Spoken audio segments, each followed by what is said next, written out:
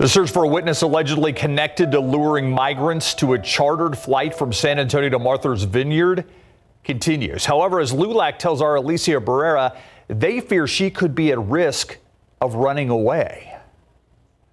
It's the name that has been circulating among migrants, advocacy groups, and authorities since last month. When I was at Martha's Vineyard interviewing the refugees, all I had was a name, Perla. Domingo Garcia is the national president of LULAC and is determined to help track down the woman his team has identified as Perla Huerta. She is originally a graduate from San Antonio High School and uh, a veteran of the military. And then we actually had one of the refugees give us a picture of her when they got on the plane to Martha's Vineyard. It was at the San Antonio airport when they took off.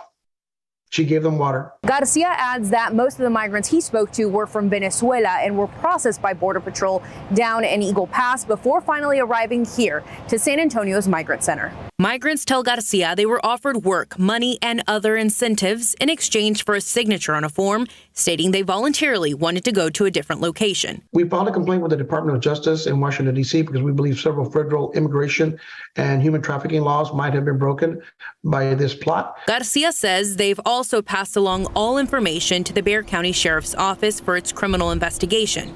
Although BCSO says they have not confirmed or identified any person of interest involved, quote, any and all evidence that has been submitted to us regarding this investigation is being reviewed by handling investigators, end quote.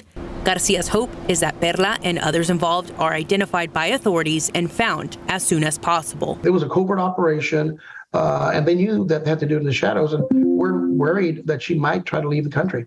Now they continue efforts to make migrants aware of the dangers and free offerings from strangers. Alicia Barrera, KSAT 12 News.